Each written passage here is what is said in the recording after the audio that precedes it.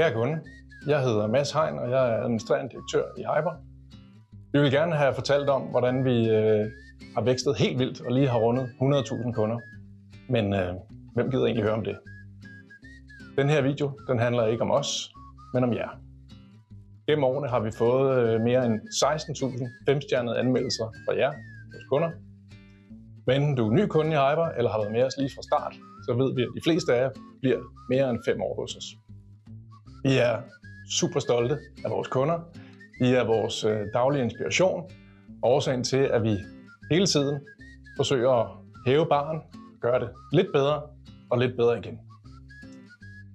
Den her video den handler om at sige et kæmpestort tak til jer, vores kunder.